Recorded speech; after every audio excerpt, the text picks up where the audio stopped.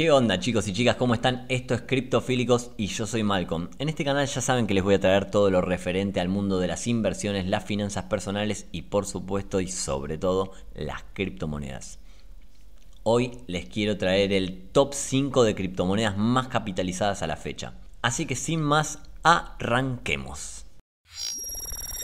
Bueno, en principio tenemos a Bitcoin, que ya todos saben lo que es y es la primer criptomoneda que se dio a conocer y que hoy está convirtiéndose, ojo, desde mi punto de vista, en una reserva de valor o como algunos llaman el oro 2.0. Bitcoin es descentralizada y se presentó como una solución a las transacciones digitales, llevándolas a un muy bajo costo de forma descentralizada, automática, segura y rápida. Con el tiempo fueron apareciendo otros proyectos que brindan muchísimas mejoras en velocidad, escalabilidad, costos más bajos por transacción, etc. Pero Bitcoin es la primera y más conocida en todo el mundo, por lo cual se fue convirtiendo en el padre de las cripto, el rey de la selva, el sabio de la montaña, etc. Podría seguir, pero no nos vamos a detener mucho más en él. La segunda criptomoneda más capitalizada en el mundo es Ethereum y se lo ganó ya que Ethereum trajo una tecnología increíble que llegó para quedarse y esos son los famosos contratos inteligentes. Si no saben lo que es un smart contract, les dejo el video del diccionario cripto donde los mencioné y también mencioné muchos otros términos. Pero en fin, Ethereum trajo smart contracts al mercado y eso revolucionó absolutamente todo tipo de industrias, ya que los smart contracts tienen todo tipo de utilidad, como por ejemplo en el mundo de las finanzas personales, ofreciendo la posibilidad para tomar y pedir préstamos entre personas, o sea, peer-to-peer, de forma totalmente automática y segura con muy bajos costos. También en el mundo del e-commerce en general, tiene todo tipo de prestaciones para automatizar los procesos de compra y entrega de productos digitales o no digitales. Por otro lado, también en el mundo de las inversiones, ya que podemos automatizar procesos de inversión. En fin, Ethereum trajo la posibilidad de automatizar casi lo que se te ocurra y de hacer contratos inteligentes sin intermediarios. Por eso es sin dudas el segundo gigante del mundo de las criptomonedas. Ahora vamos con la tercera criptomoneda que es Tether. Tether es simplemente un stablecoin, una moneda digital estable que siempre mantiene el mismo valor uno a uno con el dólar. O sea, un Tether es un dólar. Así que si querés ahorrar en dólares, podés comprar Tether y guardarlos en una billetera segura. O también y sobre todo se usa mucho si vos tenés varias criptomonedas y crees que van a bajar de precio, podés venderlas y pasarte a dólar tether, teniendo una moneda digital a mano para después poder comprar de nuevo cuando te sientas más seguro o cuando te guste el precio al que están las otras criptos. O sea, en pocas palabras sirve como una moneda refugio cuando hay caos en el mercado. Vos sabés que pasás todo a Tether y tenés tus dólares ahí asegurados.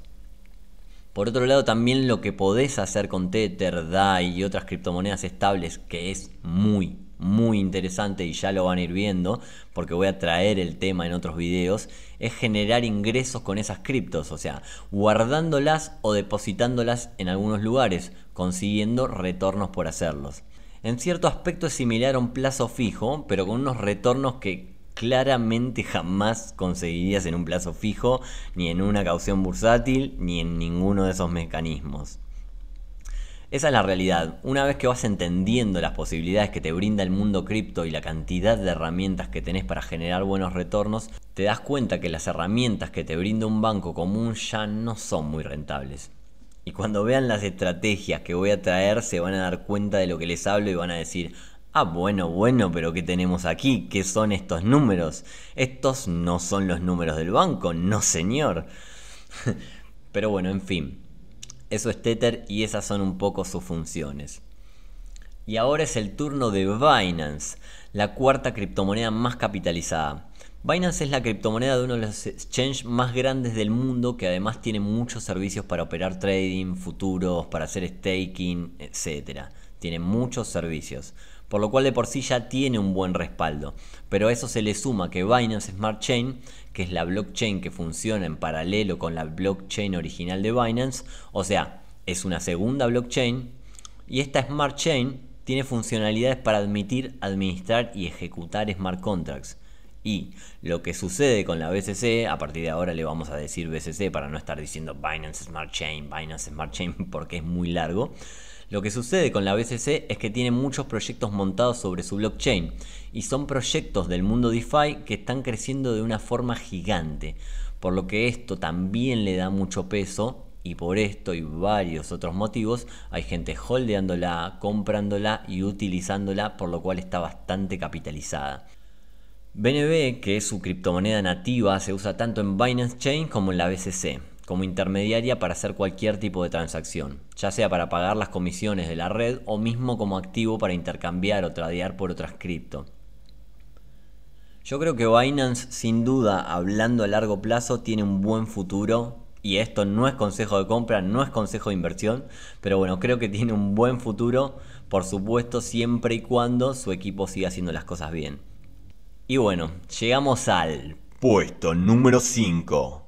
En el puesto número 5 tenemos a Cardano.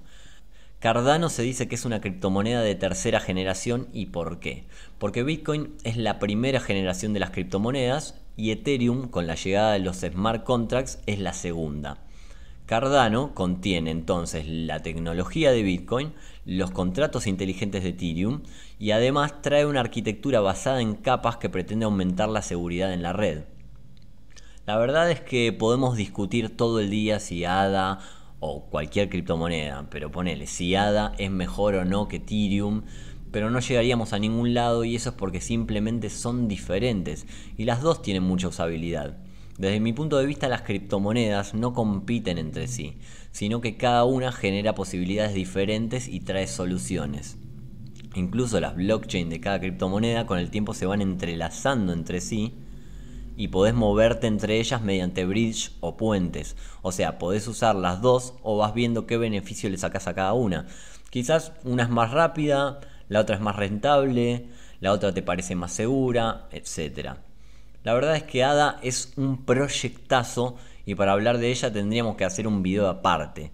Pero lo seguro es que ADA está en el quinto puesto porque se lo merece y el equipo viene trabajando muy bien en traer soluciones tecnológicas para todos.